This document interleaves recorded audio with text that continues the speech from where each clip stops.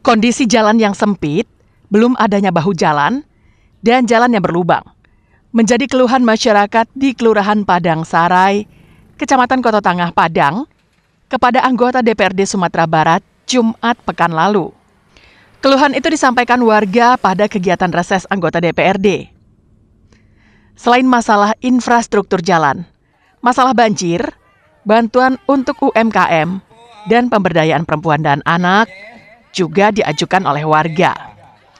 Khusus masalah infrastruktur jalan merupakan masalah yang krusial karena selain sebagai jalan umum, juga sebagai jalur evakuasi jika terjadi tsunami. Sayangnya, lebar jalan yang hanya 3 meter terasa sempit jika harus berpapasan dengan kendaraan lain yang berlawanan arah. Uh, jalan jalan utama pak, jalan utama sekitar 3 meter itu uh, lebarnya cuma 3 meter. Mobil yang berpapasan uh, sangat tidak uh, layak harus berhenti. Jadi kalau ada badan jalan semeter semeter jadi 5 meter udah uh, cukup baik lah gitu pak. Kalau tindak lanjuti dari kami itu tugas kami, pasti kami tindak lanjuti. Tapi kah, apakah nantinya postur anggaran kita bisa untuk melayani semua ke keinginan masyarakat? Tentu tidak, belum lah tapi minimal karena Joko Ansua. Nah, dan Cilai bagaimana anggota dewan tidak hanya aktif dengan uh, mengusulkan programnya, juga memberikan pokir-pokir yang ada inovasinya yang ternyata butuh untuk peningkatan uh, ekonomi masyarakat.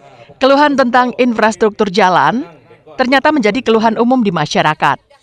Hal itu juga diutarakan warga kepada anggota DPRD Sumbar, Ikra Cisaputra, pada acara reses yang digelar di Batu Busuk, Kelurahan Lambung Bukit Pauh pada Sabtu pekan lalu.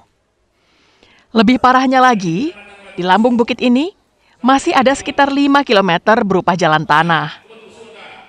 Belum ada pengecoran sama sekali. Padahal jalan inilah satu-satunya akses utama yang dipakai oleh warga untuk lalu lalang dan beraktivitas. Jika hari hujan, jalan tanah ini berlumpur sehingga menyulitkan warga untuk melewatinya. Sebagian besar pembangunan infrastruktur di Kelurahan Bukit karena Kelurahan Bukit itu adalah merupakan uh, potensial lahan yang cukup luas untuk penunjang itu semua harus ada jalan infrastruktur jalan terutama bukan jalan-jalan baru untuk jalan antara penghubung antara Lampung Bukit dan Batu Musuh yang belum ada itu jalan jadi badan jalannya sudah ada. Jadi tinggal pengecorannya lagi.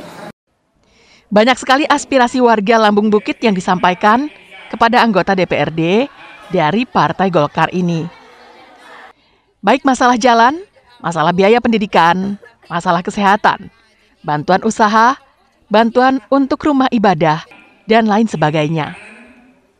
Menurut Ikra Cisa, semua aspirasi masyarakat ditampung terlebih dulu dan akan dikaji sesuai skala prioritas dan anggaran yang tersedia di pemerintah provinsi.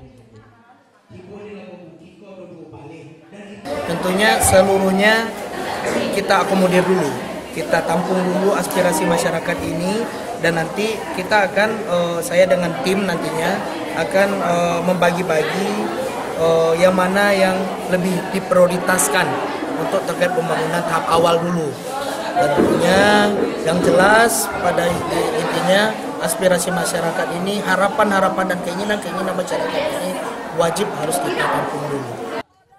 Reses anggota DPRD Sumbar merupakan kegiatan resmi anggota DPRD yang bertemu langsung dengan masyarakat untuk menampung berbagai aspirasi untuk ditindaklanjuti oleh anggota DPRD yang bersangkutan. Untuk realisasinya bisa menggunakan dana yang tersedia di organisasi pemerintah daerah atau menggunakan dana pokok pikiran anggota dewan itu sendiri. Laude Johardio Anse melaporkan dari Padang. Tenang, Beko Ado kan dibantu.